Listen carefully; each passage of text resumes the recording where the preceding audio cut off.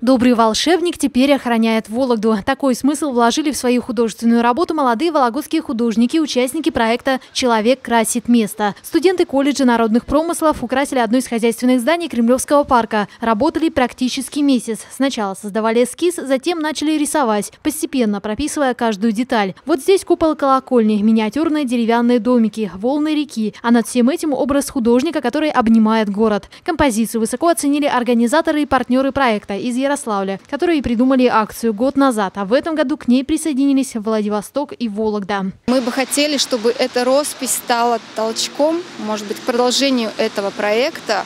А, хотелось бы, чтобы люди ощутили вот эту идею, а, что возможно созидание и улучшение той среды, в котором ты живешь, с помощью такого простого и доступного средства, как краски, и с помощью ну, достаточно простых э, действий каждого человека.